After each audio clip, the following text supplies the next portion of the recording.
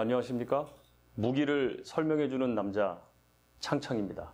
아, 방금 보신 영상은요, 지난달 3월 25일 미, 이 미사일 방어국에서 이 지상 기반 요격 미사일을 실험한 영상인데요.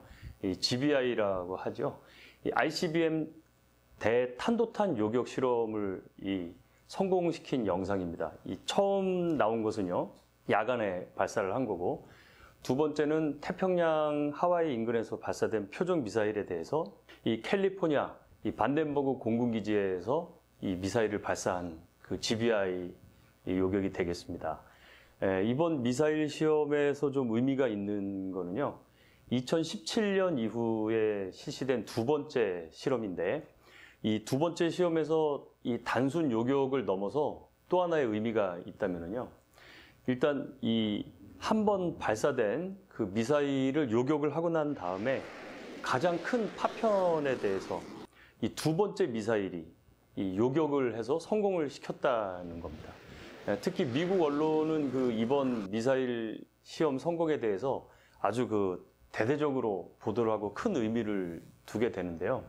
이 미사일 방어 시험은 세계 각국의 주목을 받고 있습니다. 당연한 것이 뭐냐면 미국은 오랫동안 이 요격 실험을 실시를 했지만 요 몇 년간 더더욱 주목을 받고 있죠. 이 미사일 요격 시험은요, 이 미사일 방어 능력을 시험하는 것 외에도 미국의 힘을 대외적으로 천명하는 그런 의지가 있습니다. 잠재적 적국에게는 굉장히 강한 메시지를 주는 거죠. 미국이라는 나라에 미사일을 쏘게 되면 막아낼 수 있다는 걸 보여주게 되는 거고 또한 앞으로 이 Patriot나 사드, SM3 혹은 GBI와 같은 미사일을 이 도입을 하려는 우군에게는 굉장히 신뢰도가 높은 그런 무기라는 것을 보여주는 아주 두 가지 효과가 있는 그런 시스템이 되겠습니다. 이 그만큼 미국 이 미사일 방어 시스템은요, 이 중요한 의미를 가지고 있어요. 물론 미국 외에도 탄도미사일이 있어요. 네, 우리나라도 이 탄도탄 방어 시험에 성공을 했다는. 네, 우리나라도 이 탄도탄 방어 시험에 성공을 했다는 거예요.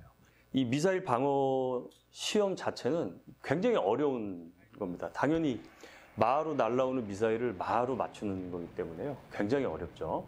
이 미사일은 여러분들도 잘 아시겠지만 크게 구분을 한다면 탄도 미사일과 그리고 뭐 크루즈 미사일, 순항 미사일로 뭐 나눠지게 됩니다. 그 중에서 미사일 방어는 주로 뭐 탄도 미사일에 대해서 요격을 하는 대탄도 미사일 실험이 되겠습니다. 보통 탄도 미사일은요, 이 사거리에 따라서 좀 구별이 돼요. 그래서 1000km까지가 단거리, 그 다음에 1000에서 3500km까지가 중거리, 그리고 3500에서 5500까지가 아, 중거리 정도가 되고 그 5500km 이상이 바로 우리가 흔히 얘기하는 ICBM 대륙간 탄도미사일이 되는 거죠.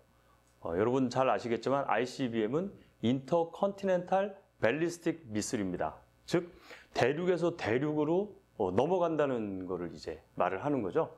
이 탄도미사일은요, 이 단거리, 중단거리, 그 다음에 중거리, 장거리 이렇게 이 탄마다 각각의 특성이 조금씩 달라요. 낙하 속도라든지 탄두가 분리되는 시점이라든지 그 다음에 속도 이런 것들이 다 다르기 때문에 이 탄을 요격을 한다는 것은 사실 굉장히 이 각각의 이 탄도탄의 특성에 따라서 적용되는 무기가 달라지는 거죠. 이 탄도미사일의 비행은요, 아, 여기 마침 비행기가 있는데, 이 탄도 미사일은, 어, 요 미사일은 참고로 말씀드리면 천마 유도탄입니다. 천마 지대공 유도탄인데, 탄도 미사일은요, 이 비행 단계별로 나눠지게 되는데요. 처음에 부스팅 단계, 그 다음에 상승 단계가 되겠습니다. 요 때가 에너지를 굉장히 많이 쓰는 단계예요. 지상에서부터 미사일을 끌어올려서 특정 고도까지 상승을 시키는 거고요. 그 다음에 이제 중간 단계로 넘어들게 되고, 그 다음에 이 종말 단계로 이제 내려오게 되는 거죠. 그래서 통상 이 미사일의 요격은요, 바로 이 중간 단계하고 종말 단계에서 이루어지게 됩니다. 어, 왜냐하면은 부스팅 단계에서는 이 요격을 하면 좋겠지만 일단 너무 멀겠죠. 멀리서 쏘니까 우리의 타격 수단이 이제 도달하지도 않겠고 그 다음에 상승 단계까지 가는 동안에는 사실은 이 미사일이 어디로 갈지 얼마나 거리를 갈지 이런 걸 잘 모르는 거죠. 그래서 이 탄도 미사일이 왜 탄도 미사일이냐 하면 탄도를 그리면서 이제 날아가기 때문에 탄도 미사일인데 결국 부스팅 단계와 상승 단계까지 갔을 때 이때 이 미사일이 어디까지 갈 수 있는지가 계산이 되고 이때부터 단거리, 중거리, 중장거리, 장거리에 대응을 하게 되는 거죠. 아, 그러면 가장 많이 알려져 있는 미국을 기준으로 해서 한번 그 이 미사일 방어 시험이 어떻게 이루어지는지 한번 알아보겠습니다. 우선 미사일 방어 시험을 위해서는 이 요격 미사일하고 표적 미사일이 있겠죠. 당연히 표적은 아까 제가 말씀드린 대로 중간 단계와 종말 단계를 시연해 줄 수 있는 표적 미사일이 필요하겠고 그 다음에 요격 미사- 미사일은 당연히 이제 이 미사일을 요격하는 미사일이 되겠죠. 패트리어트나 사드, SM3 그리고 GBI 같은 것이 이제 될 겁니다. 이런 그 실험이 가능하기 위해서는 시험 장소가 필요하겠죠. 어, 이 밖에도 요격 미사일이나 표적 미사일의 발사라든지 이 비행 과정을 살피고 이 요격 상황을 모니터할 수 있는 그런 장비, 관측 장비들도 필요하겠죠. 그리고 아까 영상에서도 보셨듯이 이렇게 딱 히트하는 영상을 촬영하는 그런 영상 촬영 이 장비들도 필요하게 됩니다. 에, 미사일 요격 시험은요, 요격과 관련해서는 이 성능 확인을 할 필요가 있어요. 그래서 이 미사일 성능을 점검하기 위해서 적의 탄도탄을 최대한 묘사할 수 있는 이 표적 미사일이 일단 필요하게 되고, 그 다음에 그 표적 미사일에 대해서 우리가 지상에서 이제 요격을 하는, 그러면 제대로 했는지 안 했는지 이거를 관측해야 되는 장비가 필요하겠죠. 그래서 이런 것들이 최대한 어, 증명이 될 수 있게 보여줘야 되겠습니다. 자, 미사일 요격 시험에 대해서 많은 사람들이 이제 논란이 좀 있죠. 실제 미사일을 가지고 요격을 한 게 아닌데 과연 그걸 믿을 수 있겠느냐? 뭐 이렇게 이제 의문점을 좀 가지시는 분들이 있는데요. 이 실제로 미사일을 실제로 이 대륙간 탄도 미사일을 쏠 수가 없잖아요. 그 쏘다가 중간에 떨어질 수도 있고 얘들이 또 이 목표 지점에 안 올 수도 있고 이 여러 가지 이제 문제가 발생을 할 수도 있는데 이 미사일 요격 시험에 대해서 제가 좀 설명을 드린다면 미사일 요격 시험은 이 시험 장소가 통제가 되었을 뿐이지 실질적으로 이 시험을 안 한 게 아닙니다. 이 시험을 이 하기 위해서는요 굉장히 넓은 장소도 필요하죠. 그런데 실제로 ICBM을 쏜다고 했을 때는 이게 중간에 떨어질 수도 있고요. 예상 낙하 지점을 어, 어긋날 수도 있기 때문에 여러 가지 변수가 있기 때문에 오히려 더 위험한 거죠. 그래서 아무리 이 땅이 넓은 미국도 이 실제 실험을 할 수가 없기 때문에 그러면 어떻게 하느냐? 실험을 최대한 이 실제 상황에 맞게끔 통제를 하고 난 다음에 이런 걸 이제 실험을 하는 데 있어서 통제를 한다고 합니다. 그래서 그 시험 조건을 통제하고 난 다음에 이제 실험을 하게 되는 거죠. 어, 그래도 미국처럼 땅이 넓은 데서도 탄도탄에 대한 실험을 하기가 어렵기 때문에요. 미 본토라든지 혹은 예, 태평양 등과 같은 분산된 곳에서 이제 이런 실험을 하게 되죠.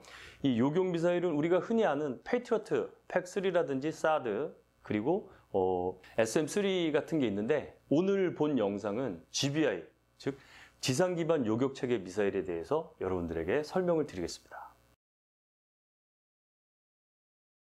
미사일 시험장이 있는데 그런 데서는 이제 이 자체적인 미사일 실험이 가능합니다. 그리고 요게 이제 이 장소가 왜 중요하냐면 실제 요격을 했을 때 이 파편들이 또 떨어지게 되겠죠. 그러니까 이 파편들이 떨어지는 지역이 다 안전 지역이어야 되잖아요. 민간인이 거주하거나 국가의 주요 시설들이 있거나 여러 가지 산업 시설들이 있는데 떨어지면 안 되다 보니까 이 공간이 굉장히 중요한 이 요소가 되는 겁니다. 어, 사실 우리나라가 뭐 좀 워낙 좁다 보니까 우리나라 미사일 시험을 하기가 굉장히 어려운 거죠. 우리나라 자체가 굉장히 가혹한 거예요. 왜냐하면 이 밀도가 굉장히 높 기 때문에 그렇죠. 미사일 실험을 하고 나면 이 결과 분석을 하게 되겠죠.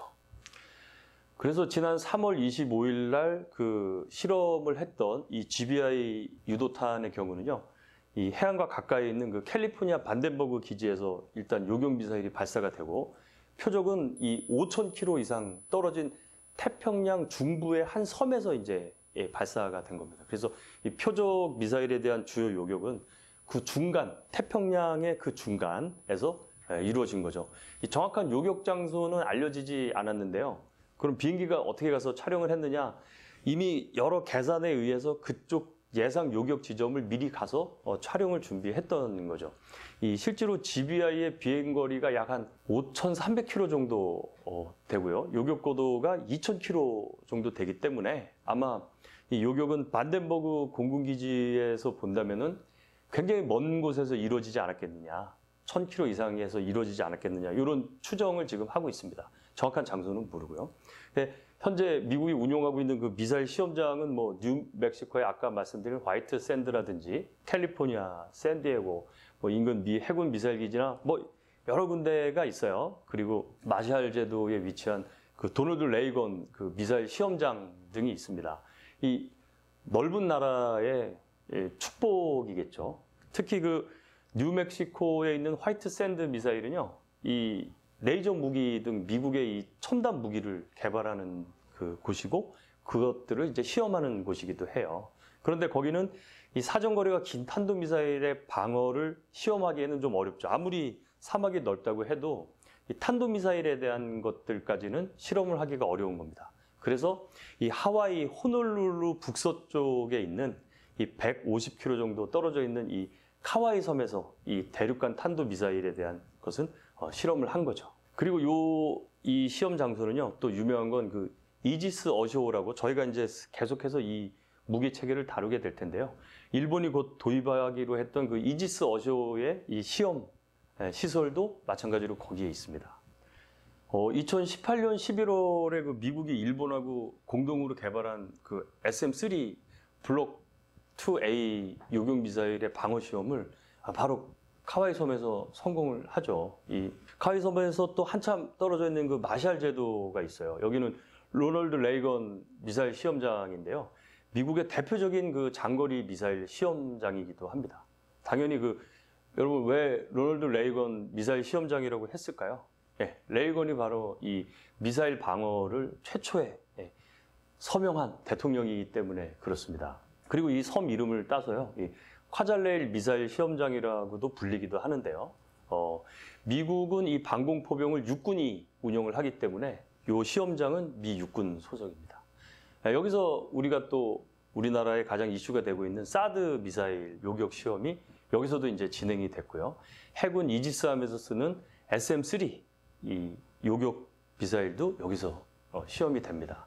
아, 이곳은 2017년과 또 이번 그 GBI 요격 시험에서 표적 미사일이 예, 발사된 곳이기도 하죠. 이거는 뭐 그 관련 참고 자료를 보시면 이 지도를 보시면 알겠지만 참 넓은 나라이기 때문에 가능한 그런 실험이기도 합니다. 그리고 요 콰잘레인 요 환초인데요. 요 환초는요 산호초가 시간이 지나서 이 섬 형태로 어, 커진 거죠. 그냥 요건 참고로 말씀드렸습니다. 네, 앞서 미국의 시험장을 보셨는데 당연히 다른 나라들도 이 미사일 시험장이 있죠. 이 에로2나 3, 이 탄도 미사일, 요격 미사일을 개발한 이스라엘. 이스라엘은 그러면 땅덩어리가 좁은데 여기는 어떻게 그러면은 실험을 하느냐?